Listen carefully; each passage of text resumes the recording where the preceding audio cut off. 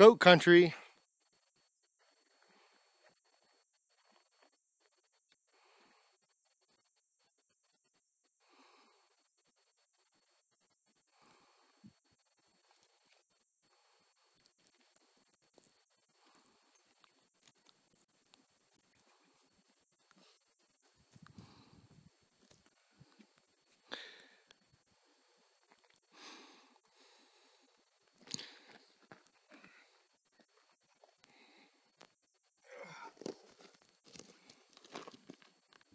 Ooh, he's heating up on the inside.